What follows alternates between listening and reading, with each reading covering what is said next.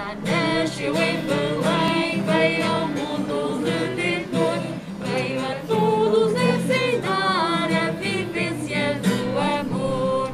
Nasceu no berço humilde que se culpa e vida, tinha o verbo do seu olhar e o regaço de Maria. Quando foi chegado o tempo em que de nascer havia, assim como desposado do seu tálamo saía, abraçar a sua esposa, que em seus braços a trazia, ao qual a bendita mãe em um presépio poria entre pobres animais que então por ali havia.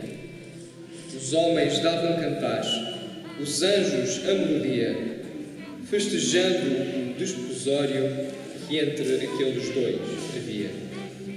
Deus, porém, no presépio, ali chorava e gemia. Eram joias que a esposa ao desposório trazia. E a mãe se assombrava da troca que ali se via. O pranto do homem em Deus e do homem a alegria. Coisas que num e no outro tão diferente ser.